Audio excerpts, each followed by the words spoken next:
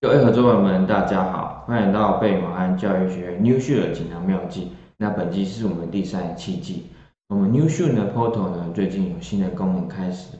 哦，那呃，大家在以前去收集一些呃认哦，就是 debug log 的时候，好，这方面呢，只能在 user 就是 client 端去做一个点选，然后把它存取到桌面等等的方式。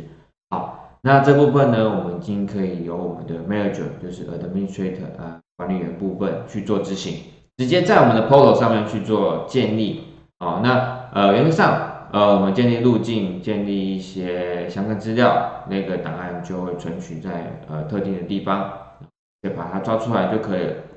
哦，这比较方便一点，就是说呃不用一直就是特地跑到 user 那边去，当它产生这资料，你告诉他路径，把它寄过来，那就可以了。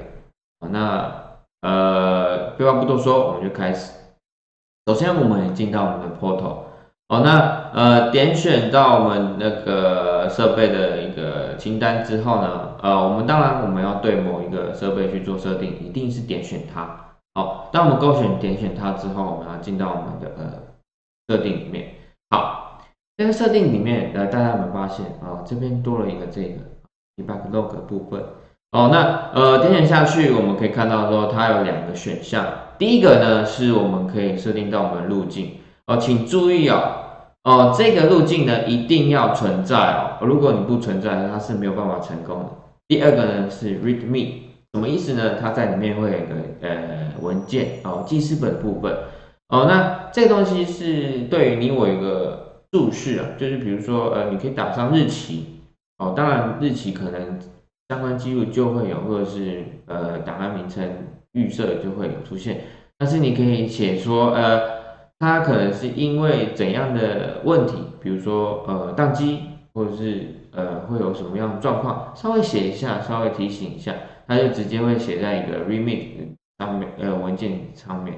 好，那完成后，呃在 portal 上面会这样显示，显示说呃它呃存取到什么样的名称啦，它做了什么，哎是不是已经成功了？好，那在 client 端呢，我可以直接在这路径呢看到啊这个文件。好，那这个文件呃，它会是一个 lib 档，所以大家不用放，不用担心啊，它会很散乱，它就是一个 lib 档。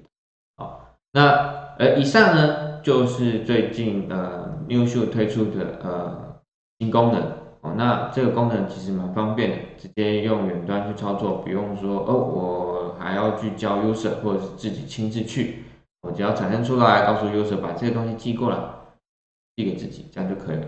好，那呃有问题可以透过联络方式来询问我，那也欢迎来到我 YouTube 订阅，里面都很多教学影片。